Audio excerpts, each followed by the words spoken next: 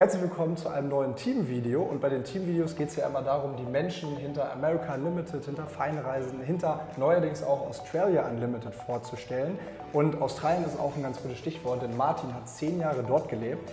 Und ja, ob es sein Lieblingsland ist, was er alles so erlebt hat, wohin er noch unbedingt gerne reisen möchte und ob er lieber Strand oder Berge bevorzugt, das seht ihr jetzt in diesem Video. Viel Spaß!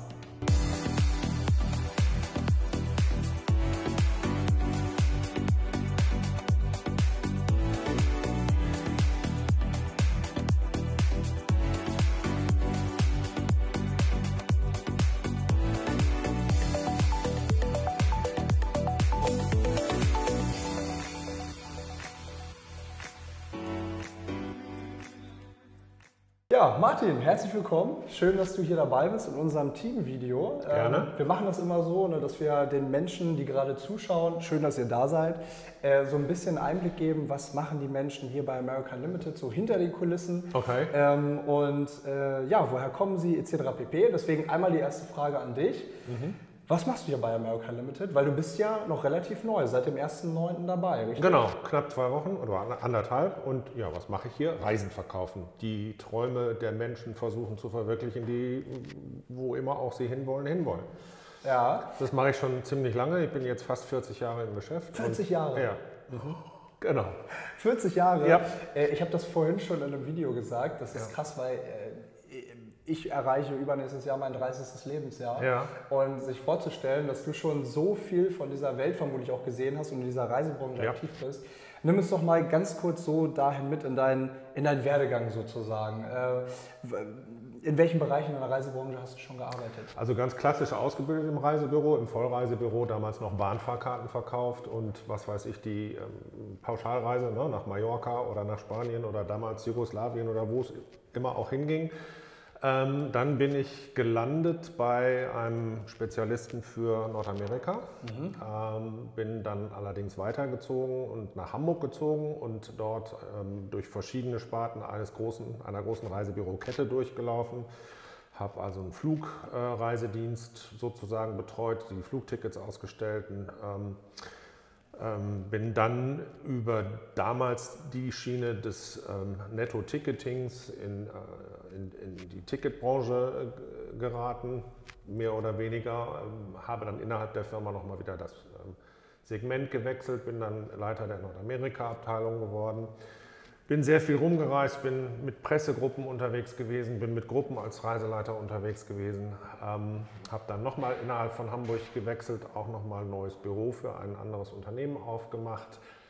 Ähm, und nach einer gewissen Zeit habe ich mir gedacht, was machst du jetzt? Jetzt hast du das schon so viele Jahre gemacht, ich gehe mal ins Ausland. Und habe mich dann entschieden, äh, nach Australien zu gehen. Nach Australien. Nach Australien zu gehen, genau. Und habe vier Jahre äh, Sponsorship-Visum bekommen von einem äh, Unternehmen hier in Deutschland und daraus sind dann letztendlich zehn geworden, die dann äh, auch äh, das mit sich gebracht haben, dass ich inzwischen einen australischen Pass habe und die doppelte Staatsbürgerschaft. Das ist der absolute Wahnsinn. Wir haben vorhin noch mal schon mal kurz drüber geredet, dass du einen australischen Pass hast. Genau. Das ging damals viel einfacher, als es heute der Fall Richtig. ist. Aber natürlich ein absolutes Geschenk und ein absoluter Segen, wenn man mit zwei Pässen reisen kann. Genau. Ähm, Wahnsinn. Und jetzt bist du ja äh, jetzt, jetzt bist du ja im Prinzip zu einem Zeitpunkt hier zu American Limited gekommen, äh, wo jetzt ja auch Australia Limited vor der Tür steht. Richtig. Reisen, die wir äh, nach Australien sozusagen verkaufen und Genau. für euch maßschneidern. Welche Rolle spielst du da? Ich hoffe, dass ich da gute, gut mitspielen kann und ähm, die zehn Jahre Expertise, die ich mir äh, durch den Aufenthalt da angeeignet habe, natürlich ja auch im Verkauf ähm, gut anbringen kann. Also Australien ist nach wie vor mein absolutes Traumland. Ich habe die zehn schönsten Jahre äh, im Beruf dort verbracht, unter anderem für ein großes Heißluftballonunternehmen gearbeitet. äh, aber auch Touren durch Australien gemacht und das ganze Land sozusagen privat und auch mit Gruppen bereist. Und das kann nur von Vorteil sein, wenn man was verkaufen will, denke ich mal. Total, total. Beim, beim Reisen ist es ja ganz oft so, ähm, also viel, viel extremer als in anderen Branchen, dass ähm, die Leidenschaft dafür und die Identifikation eine ganz, ganz große Rolle spielt. Genau. Wie bist du zum Reisen gekommen und was liebst du am Reisen so sehr? Also zum Reisen gekommen bin ich tatsächlich dadurch, dass ich für ein Jahr äh, nach Nordamerika in den Schüleraustausch gegangen bin mit 17. Wo war das? In Iowa. Ah, okay. Mhm. Im Mittleren Westen. Damals habe ich, als ich die Zusage bekommen habe, mit der Karte auf der, mit dem Finger auf der Karte gesucht, wo ist denn jetzt Iowa? Weil wenn man so eine Klar. Schüleraustauschgeschichte plant, dann äh, hat man die Hoffnung, man kommt nach San Francisco oder New York oder LA oder so. Aber Iowa, nun der mittlere Westen, auf eine Farm mit drei Menschen, Ach, 1000 Schweinen und 200 Kühen. Ja. das war eine spannende Erfahrung. Das war eine super spannende Erfahrung, mein erster Flug tatsächlich. Ah, okay. Auch, generell, also auch vorher noch nie im Flugzeug gesessen. Und das hat mich ziemlich geprägt, würde ich sagen. Mittlerweile war ich über 40 Mal in Nordamerika und Kanada unterwegs und eben auch zehn Jahre in Australien. Das sind so die beiden Hauptschwerpunkte. Passt natürlich wunderbar hier rein. Und das finde ich eben halt auch so toll am Reisen, weil äh, du, du, du weißt nicht, was du dich so richtig erwartet. Und jetzt im Nachhinein, so eine lange Zeit später, ist es eine tolle Geschichte, die du Genau. erzählen kannst. Genau. Ähm, wenn du jetzt vor allem schon ganz, ganz oft in den USA, in Kanada Mhm. warst, in Nordamerika generell, ähm, was sind so deine Highlights dort? Oder was, also A, was sind deine Highlights dort? Äh, Welche, welche Trips äh, kannst du wärmsten Herzen sozusagen empfehlen an die Leute, die gerade zuschauen? Mhm. Und B, wo würdest du denn gerne nochmal hin in Nordamerika? Also wärmstens empfehlen kann ich auf jeden Fall Hawaii. Mhm. Ist ein Was für ein Wortspiel, wärmstens? Wärmstens empfehlen, genau. Ist ein, ein Traum, äh, dorthin zu reisen. Ich bin schon äh, mehrfach auf Hawaii gewesen, habe auch mehrere Inseln ansehen können. Und Hawaii erinnert eben sehr an äh, die Ostküste Australiens, weil das ja nun auch nicht mehr so weit voneinander entfernt ist. Sehr gerne mag ich San Francisco, eine der drei meiner Meinung nach schönsten Städte der Welt, neben Sydney und Hamburg, wegen des vielen Wassers. Mhm. Ähm, ich, Warst du schon in Vancouver? ich war auch schon in Vancouver. ja. Ah, das ist meine Ja, Lieblingsstadt. ja, ja hat, hat sehr viel gemein mit Ja. San Francisco. Ähm, ich ähm, bin immer wieder gerne in New York gewesen, war aber schon lange nicht mehr aufgrund der Tatsache, dass ich ähm, so lange in Australien gelebt habe.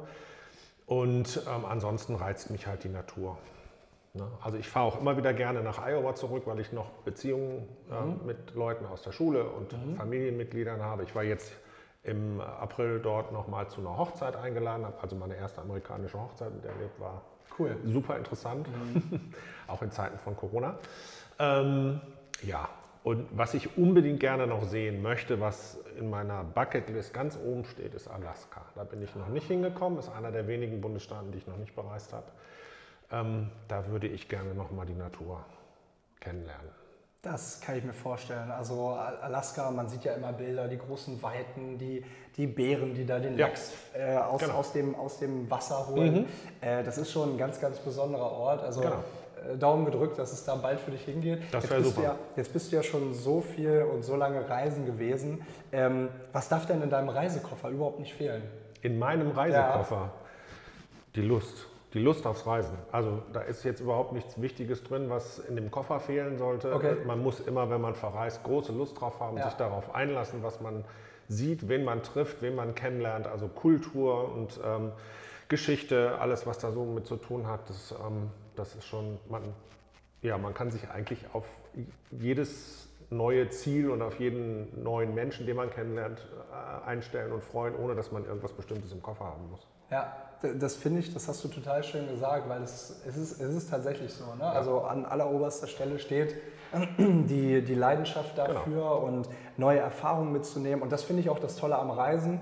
Man geht als Mensch logischerweise hin oder reist als Mensch und kommt als anderer Mensch wieder zurück. Korrekt. Weil man immer neue Erinnerungen, neue Geschichten geschaffen hat Ja. äh, mit anderen Menschen, mit anderen Kulturen, mit sich selbst ja, Ja. auch irgendwo. Und äh, das ist total schön. Ähm, wir machen am Ende immer so ein kleines Entweder-Oder-Spielchen. Okay. Nicht ganz einfach, weil ich weiß, äh, man mag alles irgendwie. ähm, und vor allem, ich glaube, die erste Frage wird jetzt, glaube ich, schwierig. USA oder Kanada? Kanada. Kanada, begründe es ganz kurz. Viel, viel mehr intensive Natur. Ich war aber weniger in Kanada unterwegs, aber Kanada ist äh, sehr, sehr reizvoll. Ja, okay. Mhm. Dann äh, Strand oder Berge? Äh, lieber Strand, aber ich bin kein Strandmensch, der die ganze Zeit am Strand liegt. Wenn ich Strand in meiner Reiseplanung mit eingebaut habe, dann möchte ich auch was sehen. Also Stadt Ja. in Kombination mit Strand oder Nationalpark mit Strand, super, aber nicht 14 Tage irgendwo nur den Bauch in die Sonne legen. Nicht Ja, meins. das äh, kann ich absolut nachvollziehen. Mietwagen oder Camper? Beides. Also mit Mietwagen kommt man ähm, manchmal etwas einfacher durch die Gegend. Der Camper ist super spannend. Ich hatte auch schon mal selber privat einen. Also ich fahre sehr gerne mit dem Camper mhm. ähm, durch die Lande und ähm, ich kann das nur empfehlen. Das ist total spannend. Und man kriegt von der Natur noch viel mehr mit, als wenn man im Mietwagen und in den Hotels unterwegs ist. Aber beides ist super. Backpack oder Koffer? Koffer. Okay. Ganz klare Entscheidung. Backpack nie gewesen, wird es auch nie werden. Okay. Ja. Äh, spannend. Ähm, mhm. Ich äh, bin tatsächlich eher, also selbst auf so klassische Koffer, also wo man eigentlich einen Koffer mitnehmen könnte, mhm. schnelle ich mir irgendwie ein Backpack auf. Mhm. Irgendwie mag ich das total gerne, so dieses Gefühl mhm. zu haben. Aber da ist ja auch jeder unterschiedlich. Genau. Ähm, und dann schickes Hotel oder wilde Lodge im Wald irgendwo? Beides. Also die wilde Lodge im Wald ist mit Sicherheit sehr reizvoll und auch spannend. Aber manchmal braucht man auch mal ein schickes Hotel. Und ich mache mich dann auch schon mal schick und gehe auch gerne sehr gut und sehr lecker essen. Also da, die Kombination aus beiden ist meiner Meinung nach eine gute Kombination und die sollten wir ja auch für unsere Kunden auf die Reihe kriegen. Definitiv. Ja. Vielen lieben Dank, dass Gerne. du dir die Zeit genommen hast, hier äh, beim Gespräch dabei zu sein, Martin. Mhm. Ähm, ich hoffe, ihr konntet ein bisschen Inspiration mitnehmen. Ähm, geballte Reiseerfahrung, die hier sitzt. Also nutzt die gerne aus. Äh, wir haben hier Reiseberaterinnen und Reiseberater, wie auch eben Martin, die eine ganz, ganz hohe Expertise haben. Vor allem natürlich auch, wenn es jetzt um das Thema Australien geht. Ja. Ähm, also ja, wir halten euch da auf dem Laufenden. Also ab sofort auch gerne mit Australien-Anfragen auf uns zukommen. Mhm. Und ansonsten freue ich mich, dass ihr in diesem Video dabei gewesen seid und hoffe, wir sehen uns im nächsten. Vielen Dank. Jo, macht's gut.